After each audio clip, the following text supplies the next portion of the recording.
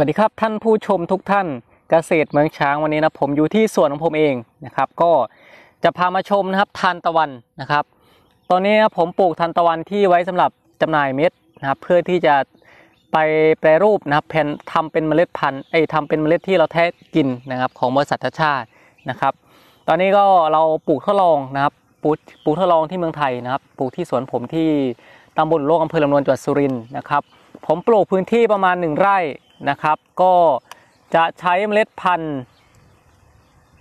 ก็คือเราปลูกหลุมละสองต้นนะครับใช้เม็ดพันธุ์ประมาณ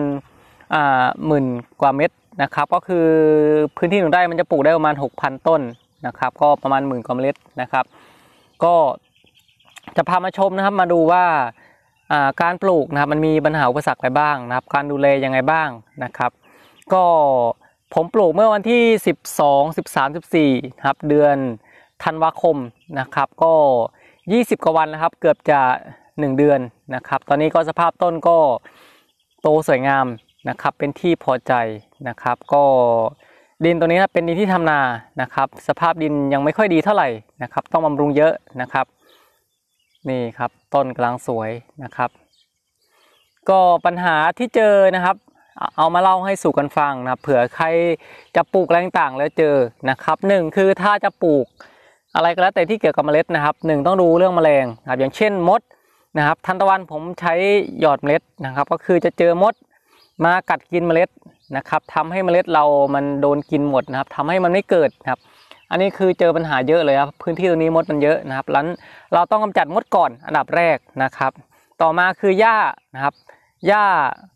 อ่าเป็นปัญหาเหมือนกันนะครับ พื้นที่ตรงนี้ของผมเจอปัญหาเรื่องหญ้าเหมือนกันนะครับหญ้าเยอะมากนะครับ นั้นเราต้องคุมหญ้าตั้งแต่ก่อนที่เราจะเริ่มต้นปลูกนะครับ นี่ครับหญ้านะครับ เยอะ อันนี้ผมทยอยถางมาแล้วครับ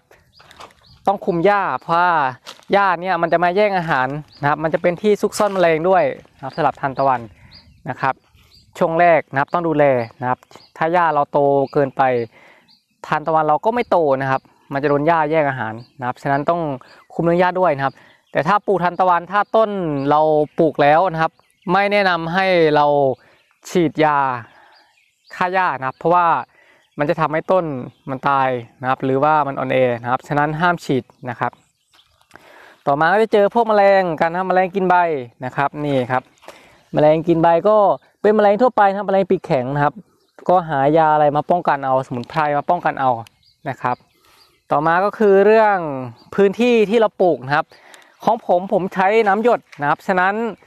ใครที่ทำพวกระบบน้ำหยดนะครับ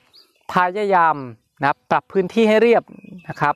ต้นเรามันจะโตสม่ำเสมอกันนะครับ ส่วนพื้นที่ของผมนะครับก็คือ มีพื้นที่ที่มันต่ำนะครับทำให้เจอปัญหาคือหนึ่งต้นไม่โตนะเพราะว่าพื้นที่ที่มันต่ำนะครับ น้ำที่เราปล่อยตามน้ำหยดนา มันจะได้รับน้ำเยอะเกินไปนะครับทำให้ดินมันแน่นครับ จะให้ดูต้นนะครับจอก็จะเห็นว่าต้นมันแกรนสภาพมันไม่โตนะครับ เนื่องจากเจอน้ำเยอะนะครับ ฉะนั้นควรที่จะปรับพื้นที่ก่อนนะครับปรับพื้นที่ให้เรียบสม่ำเสมอก่อนก่อนที่จะปลูกนะครับ ตอนนี้ผมก็ทยอยตัดหญ้าแล้วนะครับทยอยใช้เครื่องตัดหญ้านะครับนี่ครับสภาพต้นประมาณ 20 กว่าวันครับ ก็คาดว่าน่าจะออกดอกเดือนมีนานะครับเผื่อใครสนใจมาถ่ายรูปนะครับ มาชมกันได้นะครับ ดอกทานตะวันที่ใหญ่มากนะครับ จะใหญ่หรือยังไงรอดูการบำรุงนะครับ รอดูต่อไปนะครับ การใส่ปุ๋ยนะครับ จะปลูกอินทรีย์ก็ได้เคมีก็ได้นะครับ ส่วนผมเนี่ยผมจะผมคิดว่าดินผมยังไม่ดีนะครับ ผมก็ลองเคมีก่อนนะครับ ก็หลักๆที่เขาให้ใช้ก็จะเป็นในเรื่องการใส่ปุ๋ยพวก 18 46 0 นะครับ ช่วงแรกๆนะครับพอช่วงที่เริ่มออกดอกก็ใช้ 0060 นะครับ สลับตามที่แนะนำนะครับนี่ครับสภาพต้นนะครับ โดยรวมครับ ตรงนี้คือหญ้าเยอะมากเลยนะครับ ตรงที่น้ำเยอะหญ้าเยอะต้นเราก็ไม่สวยนะครับ ฉะนั้นเราต้องรีบกำจัดหญ้าเนี่ยครับตัวเนี้พื้นที่หญ้าเยอะนะครับหญ้าเยอะมากมองไปเห็นแต่หญ้านะครับ ผมจะปลูกไล่กันประมาณสองสามวันนะครับ ต้นก็จะโตไม่เท่ากันมันจะไล่ไปเรื่อยๆนะครับ อันนี้คือปลูกทดลองนะครับ ใครสนใจมาชมสวนก็มาได้นะครับ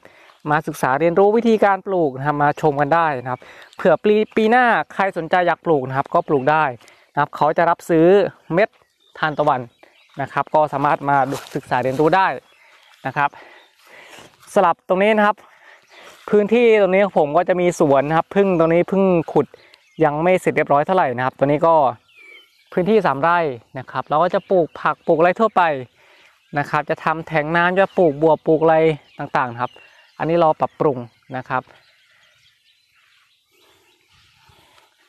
ก็สลับการให้น้ำนะครับเผื่อใครอยากรู้ว่าการให้น้ำยังไงนะครับ ช่วงแรกพยายามรดน้ำทุกวัน เพื่อที่เม็ดจะได้งอกนะครับ หลังจากผ่านไปสองอาทิตย์ ต้นเริ่มโตก็ อาจจะวันเว้นวันก็ได้นะครับ แล้วแต่พื้นที่สภาพดินนะครับว่าอุดมสมบูรณ์ไหมนะครับ การปลูกก็มีหลายอย่างนะครับ จะเปิดน้ำเข้าร่องก็ได้ ถ้ามีน้ำเยอะนะครับ ถ้าอยู่ติดแหล่งน้ำน้ำเยอะ เปิดน้ำเข้าร่องก็ได้ แต่ถ้าพื้นที่ที่น้ำน้อยก็หาแนะนำให้ใส่น้ำหยดนะจะประหยัดน้ำนะครับ สลับการทำระบบน้ำนะครับ ของผมก็ระบบน้ำหยดผมก็จะเป็น ผมมีสาย PE นะครับก็เลยไม่ต้องซื้อสายสาย PE สีดำหนึ่งนิ้วครึ่งนะครับ แล้วก็ต่อจากปั๊มนะครับปั๊มหนึ่งนิ้วนะครับ ผมจะแบ่งเป็นสองสองรอบนะครับ ถ้าให้ดีก็คือปั๊มสองนิ้วน่ะพอดีนะครับ ปั๊มสองนิ้วนะครับ พอดีนะครับหนึ่งนิ้วมันแรงมันไม่ถึงนะครับ ก็ผมกล่าวว่าจะต่อน้ำหยดจากถังแล้วตอนนี้ทำยังไม่เสร็จนะครับ ก็ตอนนี้ใช้ปั๊มหนึ่งนิ้วไปก่อนนะครับ นี่ครับคือสภาพโดยรวมนะครับ ใครสนใจศึกษาก็สอบถามเข้ามาได้ในคอมเมนต์นะครับสำหรับคลิปนี้ก็ขอบคุณทุกท่านที่เข้ามาเยี่ยมชมนะครับครับ สวัสดีครับ